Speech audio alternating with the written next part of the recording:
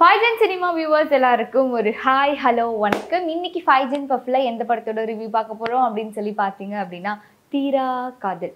ஜெய் ஐஸ்வர்யா ராஜேஷ் சிவதா நடிச்சு வெளியே வந்திருக்க தீரா காதல் படத்தோட ரிவ்யூ தான் வந்துட்டு பார்க்க போறோம். எடுத்த உடனே வந்துட்டு சிட்டி லைஃப்ல இருக்க ஒரு ஹஸ்பண்ட் அண்ட் ஒய்ஃப் அவங்களோட குழந்தையோட என்ன மாதிரியான ஒரு லைஃப் லீட் பண்ணிட்டுருக்காங்க அப்படின்றத வந்து காட்டுறாங்க. ஸோ அஃபிஷியல் ட்ரிப்பாக வந்துட்டு ஹீரோ பெங்களூருக்கு போகிறப்போ தான் அவரோட எக்ஸ் கேர்ள் ஃப்ரெண்டை பார்க்குறாரு அதாவது காலேஜில் லவ் பண்ண கேர்ள் ஃப்ரெண்டை பார்க்குறாங்க ஸோ அந்த இடத்துல அவங்க ரெண்டு பேருக்கும் வந்துட்டு ஒரு ஃப்ரெண்ட்ஷிப் ஒரு லவ் பாண்ட் வந்து இருக்குது அவங்களோட ஸ்பேஸை வந்துட்டு ரொம்பவே ஹாப்பியாக வந்துட்டு என்ஜாய் பண்ணிருக்காங்க. ஒரு ஸ்டேஜ் மேலே எனக்கும் வந்துட்டு ஒரு ஃபேமிலி இருக்குது உனக்கும் வந்துட்டு ஒரு ஃபேமிலி இருக்குது இனிமேல் வந்துட்டு நம்ம பேசிக்க வேணாம் பார்த்துக்க வேணாம். ஏன்னா இது வந்து நம்ம ரெண்டு பேரோட ஃபேமிலியுமே அஃபெக்ட் பண்ணும். ஸோ நம்ம நடந்தது எல்லாமே வந்துட்டு இங்கேயே மறந்துட்டு கிளம்புவோம் அப்படின்ற மாதிரி ஒரு முடிவுக்கு வராங்க. ஆனால் அதுக்கப்புறம் தான் அவங்க பார்க்கக்கூடிய இல்லை வந்துட்டு மீட் பண்ணக்கூடிய வந்துட்டு சுச்சுவேஷன்ஸ்லாம் வந்துட்டு அதிகமாக வருது. ஸோ இந்த படத்தில் வந்து நிறைய விஷயம் நம்ம வந்து ஒரு எக்ஸ் லவர் வந்துட்டு மீட் பண்ணுற படம் வந்து நம்ம நிறைய பார்த்துருப்போம். நைன்டி சிக்ஸாக இருக்கட்டும் இல்லை ஜில்லுன்னு ஒரு காதலாக இருக்கட்டும்.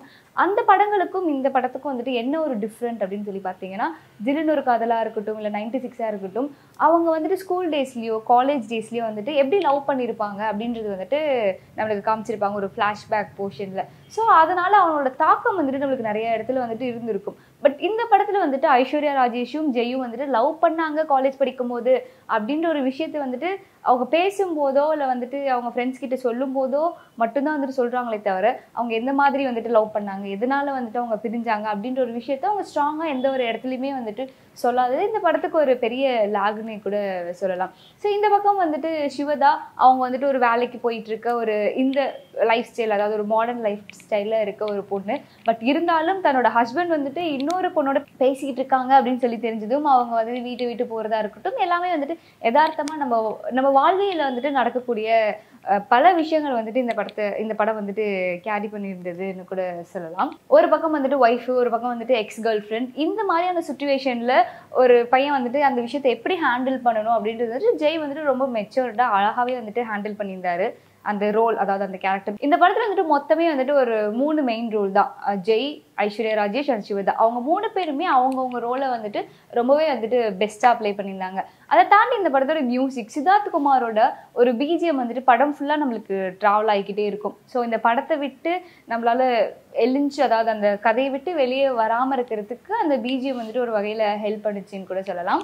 ஐஸ்வர்யா ராஜேஷ் ஜெய் மேலே இருக்க ஒரு லவ்னால அவங்களுக்கு பிடிக்காத ஒரு மேரேஜ் லைஃப்பை விட்டு வெளியே வந்து ஜெய் கூட ஒரு மறுபடியும் ஒரு வாழ்க்கையை வாழணும் அப்படின்னு சொல்லிட்டு ஆசைப்படுறாங்க. ஒரு ஸ்டேஜுக்கு மேலே ஒரு இரிட்டேஷனை வந்துட்டு கொடுக்குது. அவங்க ஒய்ஃப் பக்கத்தில் இருக்கும்போது அவங்களுக்கு கால் பண்ணுறதா இருக்கட்டும் நீ வந்துட்டு என்னை பார்த்தே ஆகணும்னு சொல்கிற விஷயமா இருக்கட்டும் பார்க்குற ஆடியன்ஸுக்கு வந்துட்டு ஒரு ஸ்டேஜ் மேலே ஏன் இப்படி பண்ணுறாங்க அப்படின்ற மாதிரியான இரிட்டேஷனுக்குள்ளே வந்துட்டு ஐஸ்வர்யா ராஜேஷ் வந்தாங்க இப்படியா நகர்ந்துட்டு இருக்க ஒரு கதையில் கடைசியில் வந்துட்டு ஐஸ்வர்யா ராஜேஷ் என்ன ஆனாங்க சிவதா என்ன ஆனாங்க ஜெய் வந்துட்டு இதில் எந்த மாதிரியான முடிவு எடுத்திருக்காரு அப்படின்றது தான் வந்துட்டு தீரா கதலோட கதை. எந்த ஒரு இடத்துலையுமே வந்துட்டு இந்த படத்தை தப்பான ஒரு ப்ரொஜெக்ஷன்லையோ இல்லை ஏ கண்டென்ட்லையோ வந்துட்டு எந்த ஒரு சீனுமே வந்துட்டு இவங்க மேக் பண்ணல. எல்லாம் ஒரு ஃபேமிலி ஆடியன்ஸ் வந்துட்டு என்ஜாய் பண்ணக்கூடிய ஒரு படமாக தான் வந்துட்டு தீரா காதல் இருக்குது படம் ஓவராலாக வந்துட்டு டே டு டே லைஃப்பில் எல்லாருக்குமே வந்துட்டு ஒரு எக்ஸ் இருக்கும். அவங்கள ஏதோ ஒரு சூழலில் வந்துட்டு நம்ம மீட் பண்ணக்கூடிய ஒரு சந்தர்ப்பம் வரலாம். ஸோ அதுலேருந்து நம்ம எப்படி கடந்து வரணும் அந்த விஷயத்தை வந்துட்டு எப்படி ஹேண்டில் பண்ணணும் அப்படின்ற விஷயத்த அழகாக சொல்லியிருந்தாங்க. நான் முன்னாடி சொன்ன மாதிரியே தான் ஜெய்க்கும் ஐஸ்வர்யா ராஜேஷ்க்கும் இருந்த ஒரு லவ் போர்ஷன்ஸை மட்டும்